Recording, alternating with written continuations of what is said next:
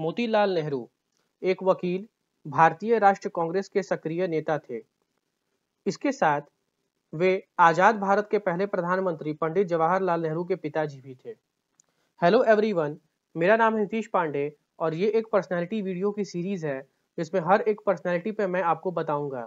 ये बहुत ही एक इन्फॉर्मेटिव वीडियो होने वाली है, लेकिन इस वीडियो को स्टार्ट करने से पहले आई रिक्वेस्ट एवरीवन कि आप इस चैनल को सब्सक्राइब करें एंड वीडियो को लाइक एंड कमेंट करें।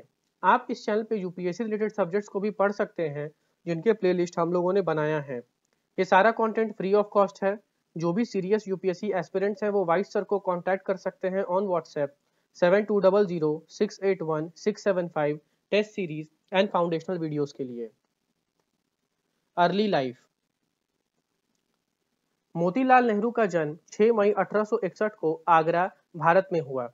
उनके पिता का नाम गंगाधर नेहरू था। तथा माता का नाम जीवरानी था। उन्होंने पश्चिमी ढंग की शिक्षा प्राप्त की थी। उन्होंने इलाहाबाद के मेयोर केंद्रीय महाविद्यालय में से बीए की, बीए किया, लेकिन अंतिम परीक्षा नहीं दे पाए। बाद में उन्होंने कैम्ब्रिज से बार एट लॉ की उपाधि ली और अंग्रेज़ी न्यायालयों में अधिवक्ता के रूप में कार्य कार्य प्रारंभ किया। मोतीलाल नेहरू की पत्नी का नाम स्वरूप रानी था। स्वरूप रानी ने एक पुत्र को जन्म दिया, जिसका नाम जवाहरलाल नेहरू रखा गया। जिन्हें आगे चलकर आज़ाद भारत के पहले प्रधानमंत्री बनने का सम्मान प्राप्त हुआ। उनकी बड़ी बेटी का नाम विजय लक्ष्मी था, जो आगे चलकर विजय लक्ष्मी पंडित के नाम से प्रसिद्ध हुई और उनकी छोटी बेटी का नाम कृष्णा था। मोतीलाल नेहरू फैमिली। अठारह सौ तिरासी में मोतीलाल जी के वकीली वकील की परीक्षा उत्तीर्ण की। तीन साल बाद वे अलाहाबाद चले गए और वहाँ अपने भाई नंदलाल द्वारा स्थापित संस्था से अभ्यास करने लगे।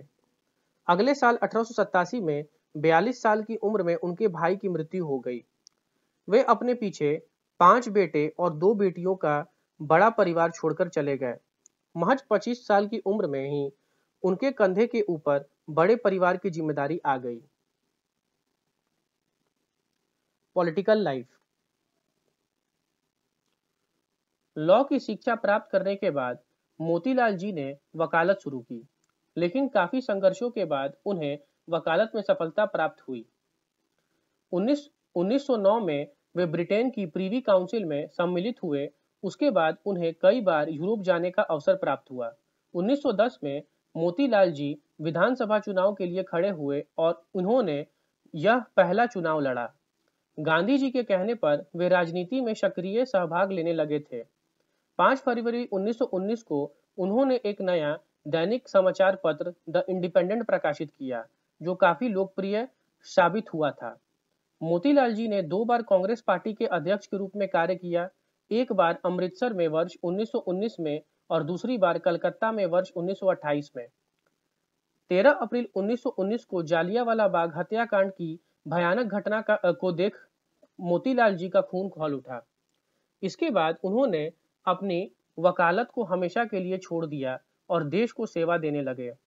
इस घटना की जाँच करने के लिए ब्रिटिश सरकार तैयार थी, लेकिन कांग्रेस ने इसका विरोध किया था। मोतीलाल जी भी चाहते थे कि इसकी जाँच की जानी चाहिए, इसलिए उन्होंने खुद की खुद की जाँच समिति बनाई, जिसमें मोतीलाल जी, गांधी जी तथा चितरंजन दास शामिल थे। जाँच में ब्रिटिश सरकार की सच्चाई सामने आ चुकी थी, तब से मोतीलाल जी ने मन में ब्रिटिश, ब्रिटिशों के विरुद्ध द्वेष पैदा हुआ। उन्होंने विदेशी वस्तुओं का बहिष्कार किया तथा गांधी जी की राह पर चलने लगे। सन 1919 से सन 1929 तक 10 वर्ष तक इन्होंने कांग्रेस का अध्यक्ष पद संभाला। 1927 में साइमन कमीशन की नियुक्ति के बाद इन्हें पहली बार आज़ाद भारत के संविधान का प्रारूप बनाने के लिए कहा गया। बाद में वे स्वराज पार्टी से जुड़ गए और इसके लिए कार्य किया। स्वराज पार्टी में इन्हें सचिव का तथा कुछ समय बाद अध्यक्ष का पद प्राप्त हुआ। डेथ। वर्ष 1930 में जेल में इनका स्वास्थ्य बिगड़ता चला जा रहा था। इसके चलते 1931 में इन्हें जेल से रिहा कर दिया गया। लेकिन इनके स्वास्थ्य में कोई सुधार नहीं हुआ। दौरान 6 फरवरी 1931 को लखनऊ में इनका देहांत हो गया। मोतीलाल नेहरू की मृत्यु पर राष्ट्रपति महात्मा गांधी ने कहा था कि यह चिता नहीं, राष्ट्र का हवन कुंड है और यज्ञ में डाली हुई यह महान महान आहुति है। तो ये थी मोतीलाल नेहरू जी की जीवनी। आशा करते हैं कि आपको ये वीडियो इन्फॉर्मेटिव लगी होगी। तो इसलिए इस वीडियो को लाइक कीजिए कमेंट कीजिए शेयर कीजिए चैनल को सब्सक्राइब कीजिए। जय हिंद, जय भारत।